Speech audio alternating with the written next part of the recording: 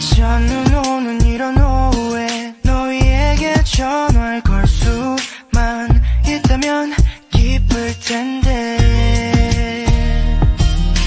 벌써 1년이 지났는데 난 아직 미련 가득해서 쓸쓸해. 어느새 혼자만 시계를 되돌려. 1년 전으로 갈 수 있다면.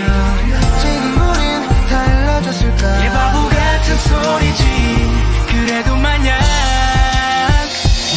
너를 만나면